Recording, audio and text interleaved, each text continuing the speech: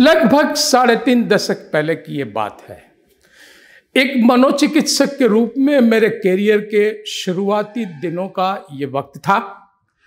उन दिनों लोग मुझे काफ़ी सवाल किया करते थे मानसिक बीमारी के बारे में, मनोरोगियों के बारे में, मनोचिकित्सा के बारे में। एक दिन मेरे एक बुज़ुर्ग दोस्त ने मुझे ये कहा कि, अरे भाई मुझे तुम्हारे क्लिनिक पर आना है। मानसिक रूप से बीमार व्यक्ति कैसे दिखाई देते हैं, ये मुझे जानना है। अब उनकी जिज्ञासा की सराहना करने के बजाय मुझे उनके अज्ञान पर खेद हुआ। इसलिए मैंने उनको कहा कि क्या आप ये समझते हैं कि किसी मनोचिकित्सक के क्लिनिक या अस्पताल में जाना और किसी चिड़ियाघर में जाना दोनों समान रूप से एक आनंददायक और आह्लादक अनुभव हो सकते हैं। उन्होंने कहा, नहीं भाई, नहीं, मैं ऐसा तो नहीं मानता।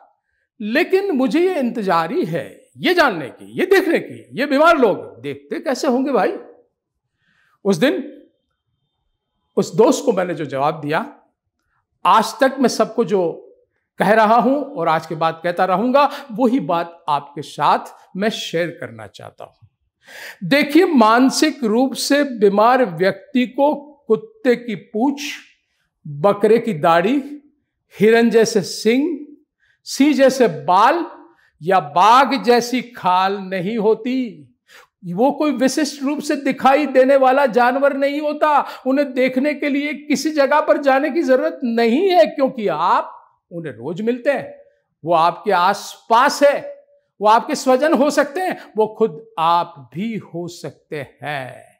दर्शक मित्रों को मेरी ये नम्र अपील है कि मानसिक रोगों के बारे में जानकारी पाए, जागरूकता दिखाए, उसके साथ जुड़े हुए कलंक को मिटाए और अन्य बीमारियों की तरह मानसिक बीमारी का स्वीकार करें।